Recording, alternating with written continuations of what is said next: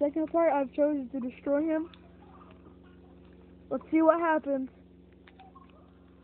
Oh my gosh, when can I do that? Um. Ha! Ah! He said, "Come here, call me. Ha! Ah!